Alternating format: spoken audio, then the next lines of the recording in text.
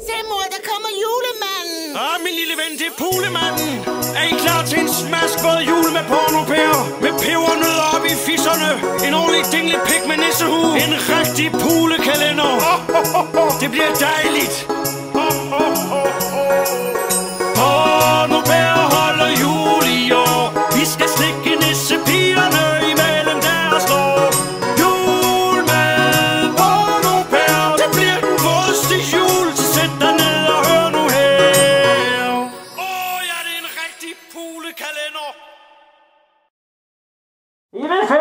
Først ikke, hvor lost det dinglepenge af. Men så gør det kraftedeme med selv, du.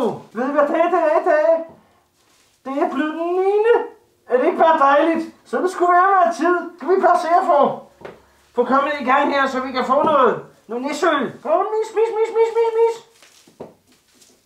Hvad fanden er det for en? Den er sgu noget anderledes i dag, må jeg sige. Den sidder også fast.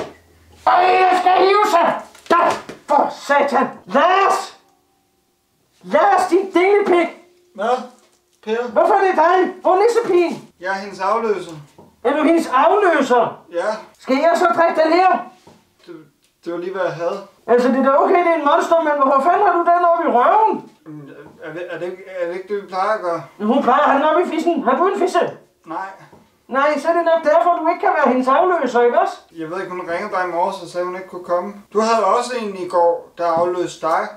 Ja, han klarer det fint, sagde han. Man kan sige, det gjorde du ikke jo.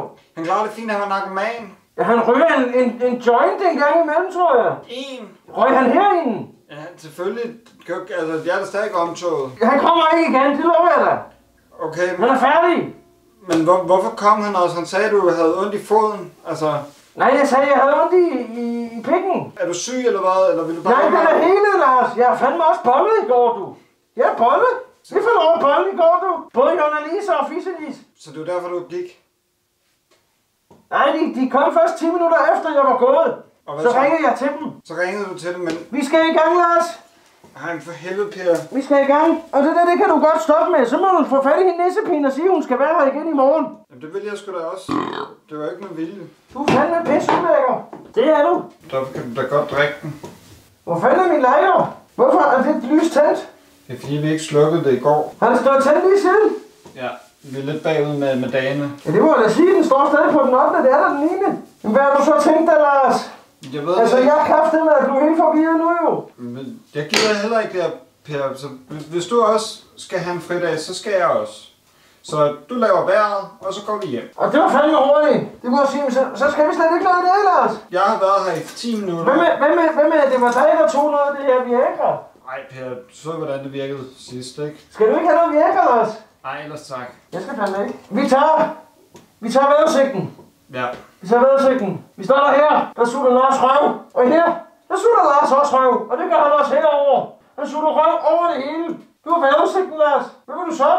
Det ved jeg ikke. Man må tage, hvad man kan få, og nogle gange får man bare skod. Hvis, prøv at høre, hvis det er sådan, det skal være, Lars, så, så skylder du. Du skylder noget. Så vil du overraske mig.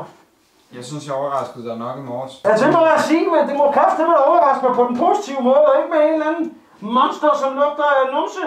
Der er fandme også hår på. Der er måske også blod. Blod! Det var måske hårdt at få op, Lars. Ja, sluk lyset. Vi er færdige for i dag, Lars. Ja, fint. Du skal tage dig sammen nu. Det kan jeg love dig, det gider jeg ikke, det der. Det gider jeg heller Så ikke. stopper vi bare julekalenderen her, hvis næstpigen ikke kommer tilbage. Men du kan også bare få den her igen, så. Det skulle da ikke min.